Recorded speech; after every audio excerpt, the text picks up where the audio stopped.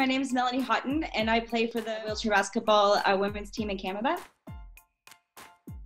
For me, it's seeing the growth in each and every one of us and then how we put it together. That's what I enjoy so, so much.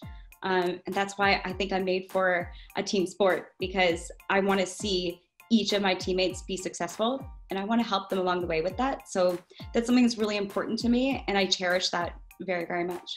We have really, really built a strong connection with each other. And I'm so excited to see, you know, what happens in Tokyo because we're such a strong team.